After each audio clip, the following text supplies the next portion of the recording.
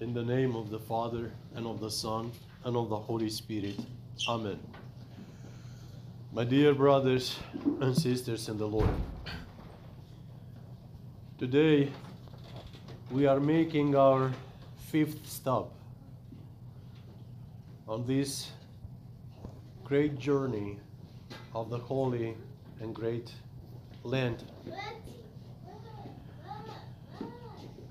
And we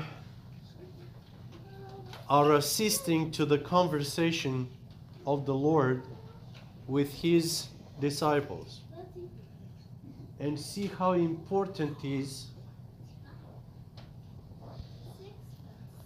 to understand the gospel, to understand the prophecies.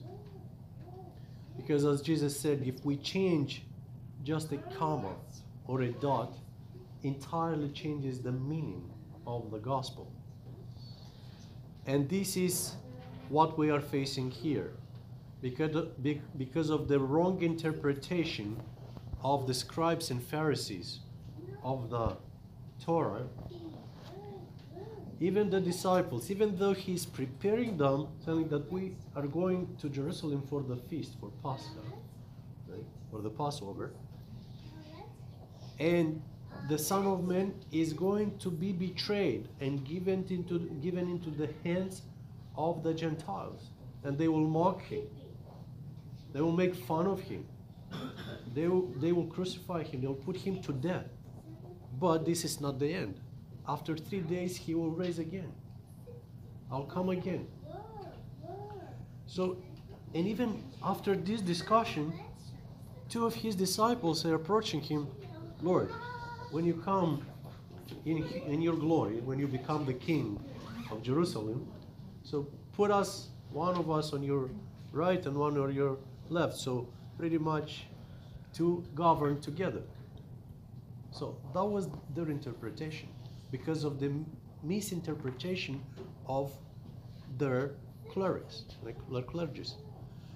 And this, this is unfortunately in our days the misinterpreting of the gospel led us to over 30,000 of Christian denominations. Because of exactly of the same concept. We don't understand and we want to interpret the, the words of God with our own mind and understanding and ignoring completely and entirely the Holy Fathers that gave their life to give us the ultimate product. So we do not need to invent anything, to discover anything. Everything is put for us. we have the gospel and we have the Holy Fathers. We have the Holy council, which everything is given to us. We don't need to need to come with anything new. We just need to follow the teachings that they have given us. That's all. but you see, many of our contemporary are trying to discover something new, to discover a God according to their own understanding and needs. Not the God that is presented for us, not the God that was crucified for us and raised for, for us, but a God according to our own feelings. A God that will say, Oh, you want to drink? It's okay. You want to have fun? It's okay. You want to sin? It's okay. You want to have drugs? It's okay. This is the God, the new era, the new, the modern man wants. A God that said, "Oh, hey, it's fine. Just give me your 10% and we're fine." Right? Because this is pretty much all these newborn Christians are doing. Right? Oh, you're good. God is love and forgives everything. Well, yes, He forgives everything, but there is a way. There's a, there's a specific way that God forgives, and this comes in hand the life of Saint Mary of Egypt that we are celebrating today. The first half of her life, she spent in a sinful manner of life, in lost living. She left her parents' house at the age of 12.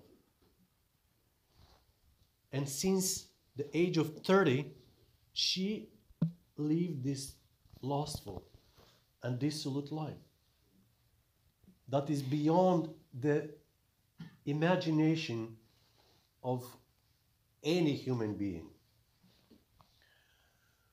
But the second half of her life is a completely different life that it is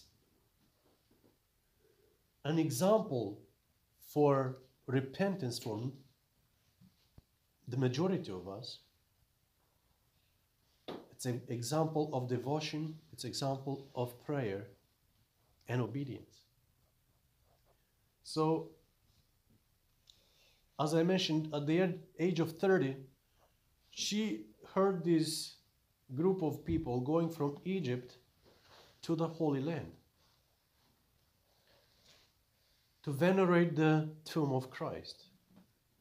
And in her mind, immediately said, Oh, on the ship is going to be a lot of nice men, so I'll have an opportunity to sin again. So that was her idea. That was the reason of her getting in that in that boat, first place. And of course, she did whatever she wanted, right? But while she got there, the multitude of people, everybody was going to the church of the resurrection, where, where, where the tomb of Christ is. And seeing everybody going, she decided to go too. Why not? But there something happened that changed her life entirely. While everybody was entering the church freely, an invisible power was blocking her. She tried mul- multiple times, but she was stopped. And now she got on her side and she started reflecting on her life. Wait a minute, there is a reason that everybody is going, but I can't something is going on, right? Is the spiritual awakeness when we are getting somehow to our back to our senses and we are starting wait a minute what am i doing? What am i doing this i sinned as the prodigal son. I sinned against heaven and against you. And we are started reflecting on all our life, all our deeds, what we did and what we could change or avoid, right? And see, this, this is very important because seeing that, she could say, Oh, God is done with me. There is no no chance for me, right? There is no salvation for me because many people, oh, I sinned, I'm not worthy, I'll continue with what I'm doing and doing even worse. And she could do worse things for herself, right? But see, she was a fighter. Seeing from the position she, she, was, she saw the doors of the church being open, she saw the icon of the Theotokos, the Mother of God. And she immediately started the conversation with the Mother of God. Intercede for me. Become for me that the, the connection. Put a word for me for your son. And if he allows me to venerate the tomb, to venerate the cross, on which he was crucified. I will dedicate my entire life. And she was allowed. She went there. She cried bitterly for, for her deeds. She repented, she confessed, and took communion. and after that,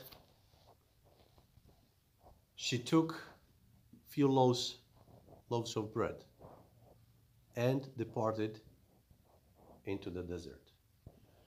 So, with those three or four loaves of bread, she spent 47 years in the desert. 47 years. Spending the, all this entire time in repentance and fighting for the, the passions, the carnal passions. So, in 47 years, she did not see a human being. She just was fighting with the evil ones. You see, the first half of her life completely different from the second half. And she is showing us that everything is possible for those that believe, for those that are obedient to God and to His Word. and again, what we understand from this that the sin becomes a barrier between us and God. It's like a wall. And we cannot receive the grace of God. Even though many of us, we go to church, right? And we are not blocked. But that doesn't mean that we are actually doing good and well. there is a it's a difficult path that we have to follow in order to reach that. She was able to walk on the waters after 47 years when God allowed one of the hesychasts of, of that region, Abba Zosimas, during the Holy Lent, they were like the, the, the, the, first week they will depart from the monastery and live in the desert and just come back on the Holy Thursday. And in this period, he saw, he didn't know what it was, but he saw something like a lightning in the desert, walking on the water, barely touching the, uh, the ground. He was amazed, amazed with this. Who is this and what? And finally, with through the divine providence, he's approaching and he's learning from her her entire life. This is how we know about her. And he was amazed. And after 47 years, for the first time, she is taking the Holy Communion. And the next year, when he come, he found her dead on in the in the desert. So, but again, it's it's a miracle. Because imagine the, the desert, right? How many animals are dwelling in there and could eat her body, right? But it didn't happen because it was a sanctified body. And this is the meaning of the, the Holy Lenten, You know, to fight with our passions, to break this barrier between us and God, to get rid of the sin, because the sin is that barrier. and unfortunately, it's not the sin that is actually dividing us, because there is repentance. But when we are not repenting, this is what is the, the dividing us from God. Because everybody living, bearing the flesh, we are sin. And even the saints, you see, all the saints, they, they had difficulties, they had issues, they had temptations, and they had sin. But they repented. This is the difference. Living as, ah, it's okay, it's fine, doing everything else, that's okay. We are human beings. We live in the world. We can we can protect ourselves intact from sin. It's it's normal. So when we are taking it for granted and we accept it, that's just is the way that we we are, right? And then like the first half of her life, uh, she, she was living the life that, that dissolute life, she, she accepted it like a normal way of living. Right? And this is the majority of our contemporaries today. We just, oh, it is what it is. We can't do anything. Well, of course we can. We can, and we have so many examples.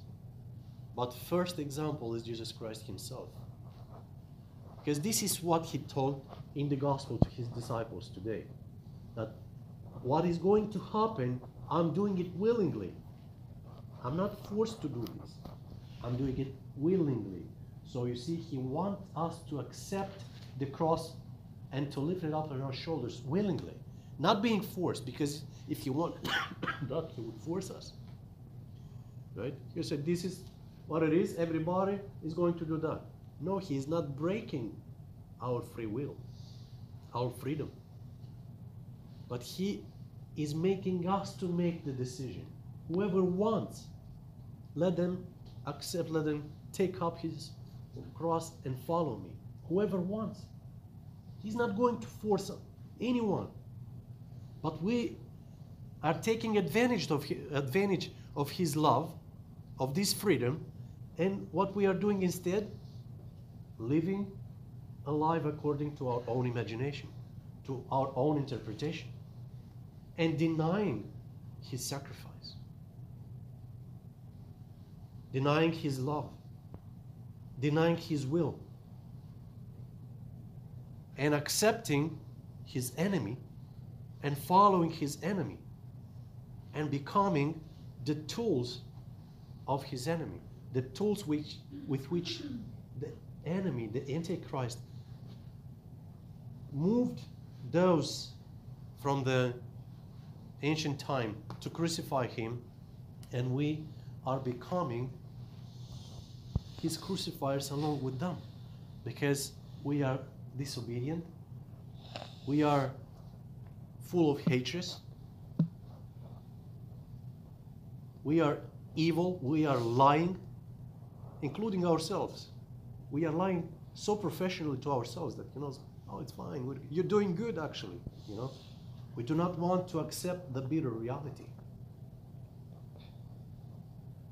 My dear brothers, we have to take it seriously because that's the reason of our life being here. We are temporary here. We're not here forever. And we have to take advantage of every single second. Every single second. To take advantage of it and turn everything in to benefit our salvation towards good, towards love, which is Christ. That's the, that's the only path that can lead us to the resurrection, to our own and eternal resurrection with Christ. Amen. God bless you all.